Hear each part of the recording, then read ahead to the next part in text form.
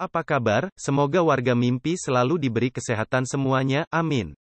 Kali ini Kisam Berendelap akan menafsirkan tafsir solat dalam mimpi.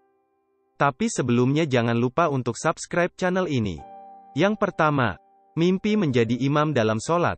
Bermimpi Anda menjadi imam dalam solat artinya adalah Anda akan mendapatkan amanah dan tanggung jawab yang besar dan hanya ada yang dapat dan mampu menerima serta melaksanakannya. Yang kedua, mimpi menjadi imam solat namun ada makmum yang protes. Jika Anda bermimpi seperti ini, artinya Anda belum berhak untuk dipercaya menjadi pemimpin atau diberi tanggung jawab yang besar. Yang ketiga, mimpi menjadi imam tetapi kurang lancar. Artinya adalah Anda lemah dalam segala hal. Yang keempat, mimpi sedang mengerjakan sholat. Artinya adalah dosa-dosa Anda akan terhapus.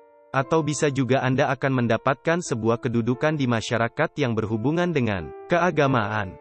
Seperti menjadi ustadz, kiai, pegawai agama, guru mengaji, modin dan lainnya. Yang kelima, mimpi sedang bersujud dalam sholat. Artinya adalah Anda akan mendapatkan tempat yang baik di dunia dan di akhirat kelak. Keenam, mimpi solat di dalam masjid.